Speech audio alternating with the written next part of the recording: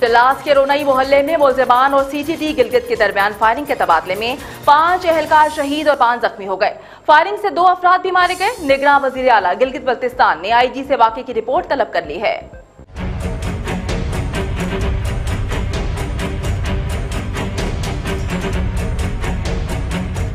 چلاس کے نوائی گاؤں میں سی جی ٹی ڈی نے مفرور ملزمان کی موجودگی کی اطلاع پر کارروائی کی۔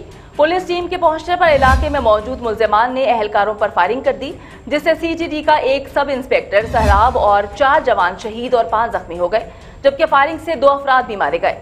واقعے میں زخمی اہلکاروں کو ہسپتال منتقل کر دیا گیا ہے۔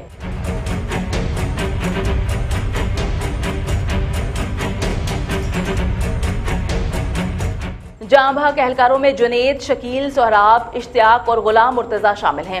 فائرنگ کے بعد ملزمان فرار ہو گئے جن کی تلاش کے لیے کوششیں جاری ہیں۔